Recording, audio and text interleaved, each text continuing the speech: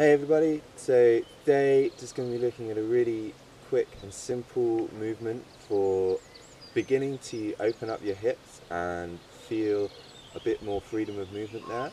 It's such a simple but a really deep exercise that you can do and it's uh, anyone can do this. It's a very sort of um, easy movement to do but if you sort of feel into it, take it slow and smooth it out, the benefit for your hips can be fantastic.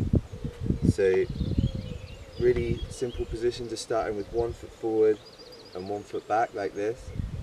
And all you're going to be doing is learning to move and articulate from your hip socket there. And you've got the thing there, your inguinal crease, the bit where kind of your legs meet your upper body and torso. And all you're going to be doing, you can put your hand in there to feel it.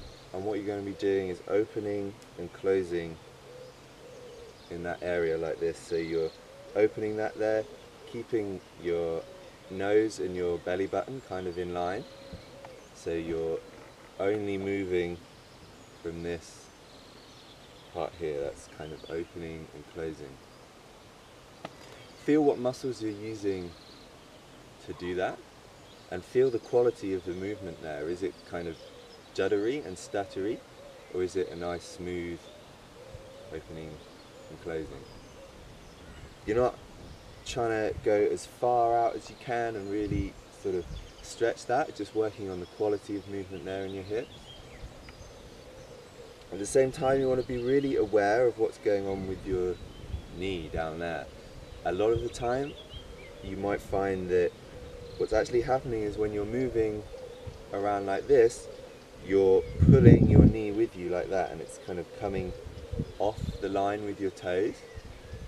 So you really want to try and be aware of that when it's going on and to try and learn to differentiate the movement between your upper body and your lower body so that you can, your leg and your hips and your torso can move independently.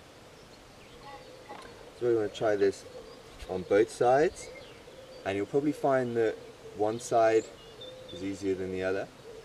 Um, and for me, when I was learning to do this, my right leg was much more prone to coming in like that than the left leg was.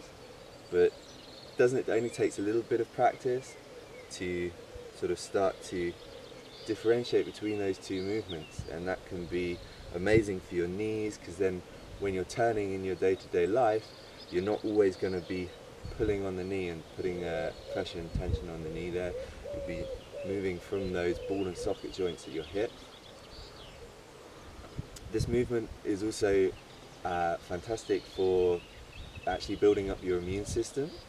In those lines there in your inguinal crease, cre inguinal crease you have uh, lymph nodes and they are a key part of your immune system, but they don't have their own pump to move the lymph around your body. Uh, and it's actually your movement, like crush, like uh, massaging those nodes that helps to move that around your body. And so these movements are, yeah, they are fantastic for that because they're literally doing that movement and massaging those lymph nodes.